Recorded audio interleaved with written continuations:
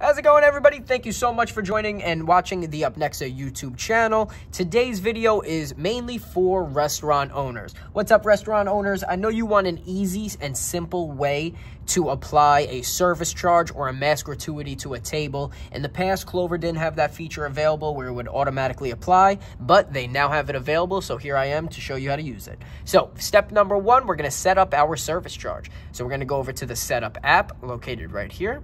Go ahead and select that. Then we're going to toggle over to additional charges right under payment receipts. Go ahead and click there. So step number one, we're going to enable service charge by simply selecting that box right there. Now we can also give it a different name. If you want to name it service charge or gratuity, you can do that as well. Just make sure you click save here. All right. So now next we're going to go over to the service charge percentage. Once we click on service charge percentage, you will see 10% is available. Go ahead and click save. So now that is a simple and easy way to add your service charge and have it automatically added to all of your checks and tables.